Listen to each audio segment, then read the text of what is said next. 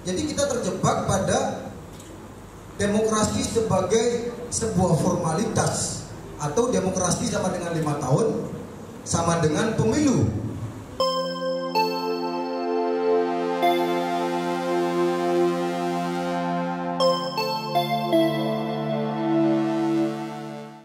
Oke, jadi sebetulnya saya sudah berkali-kali menjadi KPPS dan semua pemilu itu melelahkan yang paling celaka adalah pemilu yang melelahkan tapi menghasilkan DPR dengan kualitas rendah.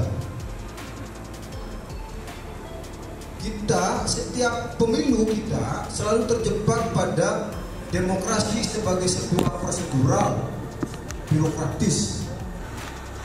Demokrasi sebagai praktik kehidupan sehari-hari tidak pernah terjadi. Ini yang kemudian disebut dengan krisis demokrasi elektoral gitu.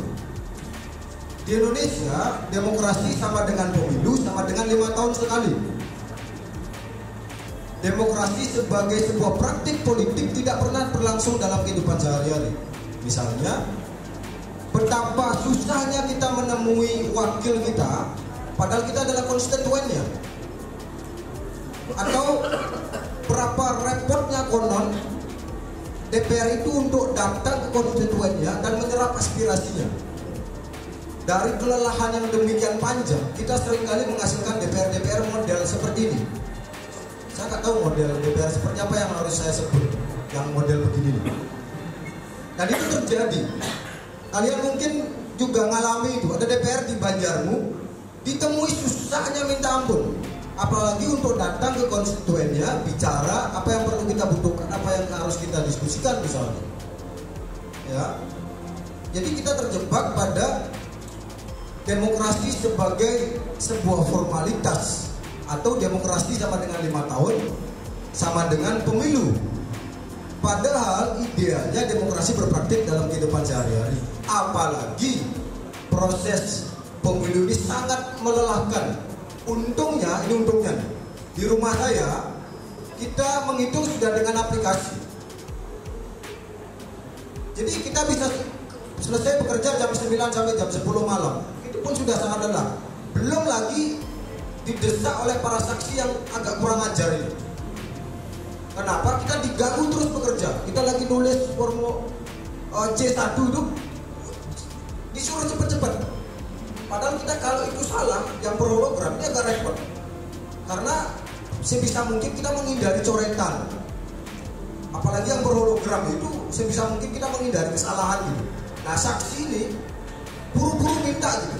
Akhirnya karena saya juga jengkel saya kasih form yang kosong. Ya udah kerjain sendiri saya bilang. Ya, biar sekalian. Kalau mau kita pulang sampai pagi ya sudah. Tunggu selesai. Kalau udah selesai pasti kita kasih ditambah ada beberapa di tempat lain nih saya baca beritanya DPR yang membentak KPPS itu bentuk intimidasi terhadap penyelenggara. Mereka sudah bekerja optimal dari subuh itu. Kita sudah di, dikumpulkan oleh PPS ngambil semua logistik. Ada yang bekerja sampai subuh ditambah dibentak-bentak lagi. Ini kan repot sudah dibentak dia terpilih nggak pernah pulang ke desanya. Ya agak kurang ajar.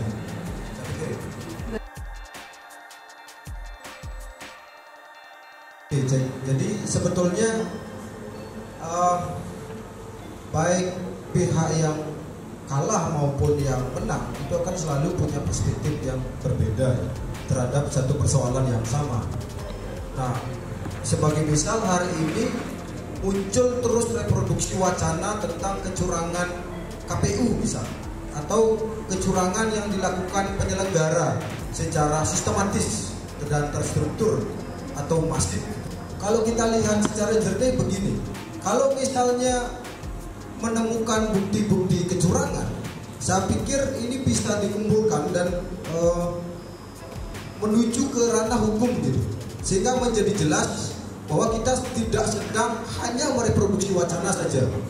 Dan ini berbahaya karena akan menjadi bola liar di publik yang sebetulnya nggak tahu apa-apa dan ikut panas. Itu pertama.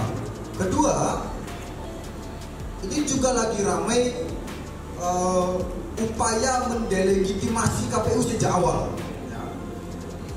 Sebelum pemilu itu narasi-narasi untuk mendelegitimasi KPU sudah terus direproduksi.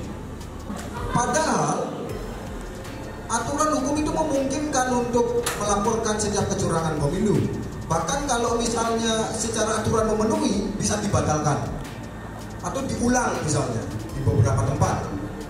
Nah, saya pikir begini, reproduksi wacana untuk mendelegitimasi KPU sejak awal sebetulnya itu pasca pemilu adalah ujung dari upaya strategi mendelegitimasi KPU. Karena begini, data-data um, yang ditampilkan oleh kubu yang kalah misalnya bisa jadi atau sangat mungkin adalah data-data yang memang sengaja untuk mengaburkan data yang sebetulnya sehingga muncul kerancuan di bawah mana yang harus dipercaya dan ini memunculkan distrust dan ini yang memang diharapkan oleh uh, strategi macam begitu. Bahwa idealnya idealnya nih ya menurut saya. Kalau memang hasil quick count dari mereka yang kalah menyatakan mereka yang menang maka idealnya itu paparkan metodologi survei yang memenangkan mereka. Ini fair. Itu jelas tuh kalau survei ada metodologinya. Ya cuma kalau metodologinya nggak jelas ya harus ngulang mata kuliah statistik dan kuantitatif saya pikir. Siapa saja kan bisa mengklaim kemenangan hanya saja setiap kemenangan juga harus berdasarkan basis data gitu. Setiap mereka yang kalah akan melakukan itu hanya saja untuk skala nasional saya pikir ini adalah reproduksi sejak awal yang diwacanakan untuk mendelegitimasi jelas ya. Kalau memang Anda menemukan kecurangan, monggo silakan masuk jalur hukum untuk skala nasional misalnya.